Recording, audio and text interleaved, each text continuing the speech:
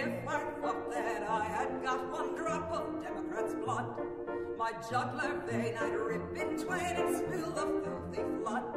Now don't let that annoy you. We say, oh, buffer, stop. If they boiled you down in a chandler's vat, they couldn't raise a crop.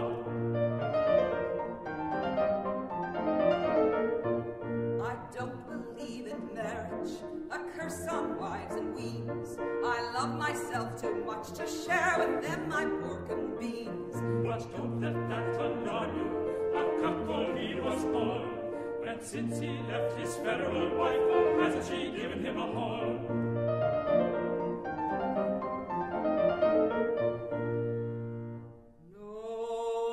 No, James Buchanan, I sold myself down south. Henceforth I'll do what my masters please and speak what they put in my mouth.